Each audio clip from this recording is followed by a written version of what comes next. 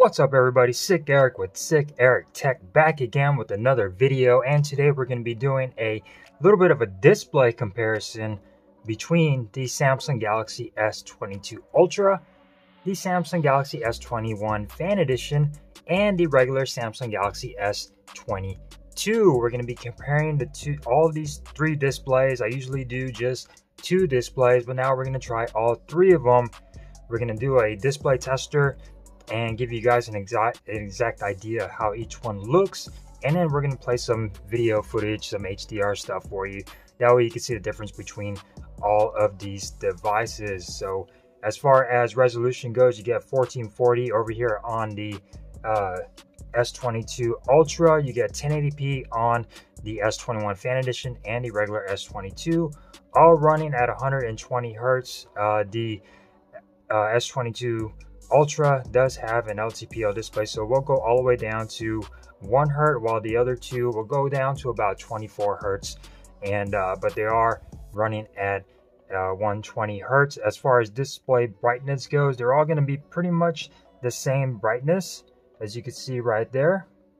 And as far as display settings go, they are all on dark mode and the screen mode is going to be on vivid on each and every one of them and motion smoothness adaptive over here and then motion smoothness high on the fan edition and adaptive over here on the uh, S22 Ultra. So here is dark mode on all of them as well. So pretty nice on each and all one of them. They're all dynamic AMOLED displays, so they're all pretty much AMOLED displays. So let's go ahead and jump down into it, shall we? Before we do, go ahead and subscribe and click that bell icon that we get notified on future videos just like the one you're about to watch today.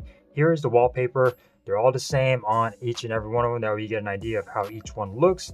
And as far as size wise, the S22 is going to be the smaller one coming in at 6.1 inch, 6.4 inches, and 6.8 inches over here on the Ultra. So definitely different sizes. You get a curved display on the Ultra flat displays on the fan edition and the regular S22. Bezels on here, of course, you could see pretty similar on the fan edition and the S22.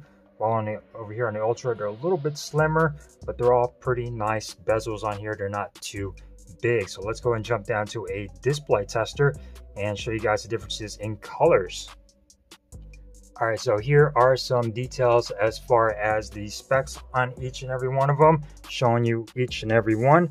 That we get an idea of the actual specifications of each display. So let's go ahead and go into tests.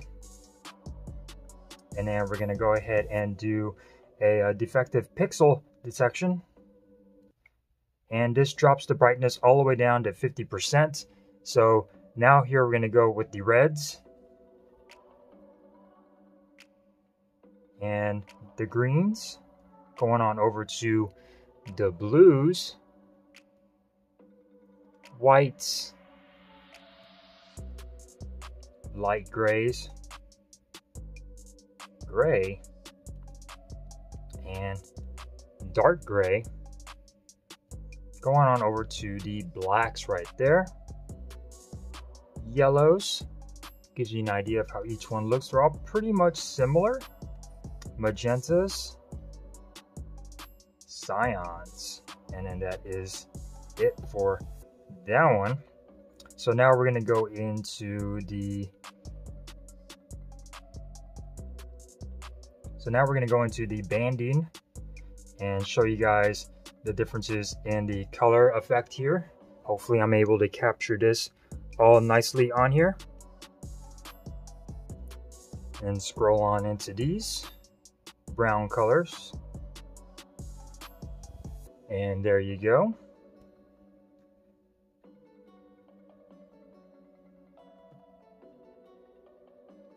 Continue on with the banding.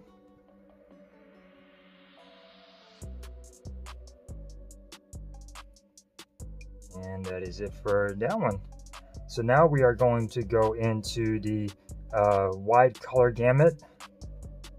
Now the funny thing is about wide color gamut is that you're supposed to see the Android logo on each and one of them inside of the box or the words Android in each one of the box and that will tell you if it supports wide gamut but all of these are on vivid mode and apparently in vivid mode it will not show you uh, the wide color gamut on there. So in order for it to show you wide color gamut, you're gonna have to go into display and click natural. For some reason, uh, it is weird that way. I do not know why. Click natural on all of these.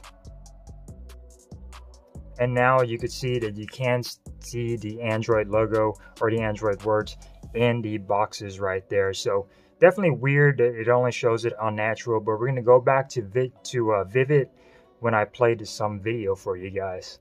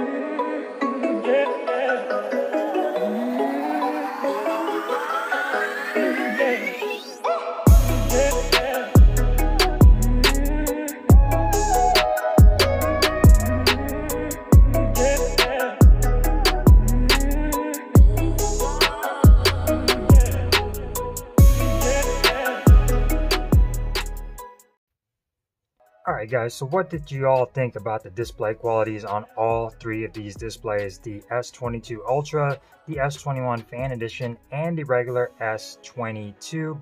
All of them are fantastic devices. Samsung never goes wrong with their displays as far as quality goes and colors go.